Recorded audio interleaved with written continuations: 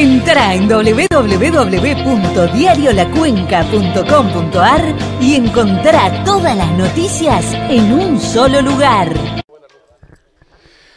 Pablo, tenemos visita de la isla y ahora acá en Boca de Mina.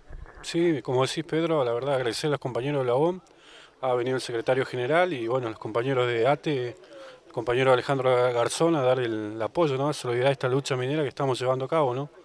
Recién terminamos una reunión en Luz y Fuerza y bueno, nos venimos con los compañeros acá a Boca de Mina a saludar a los compañeros bueno, y compartir unos mates con ellos, ¿no? La verdad que es muy importante el apoyo que nos están dando y bueno, los compañeros de la UOM se comprometen a llevar nuestro reclamo y hacerlo conocer en la provincia de Tierra del Fuego.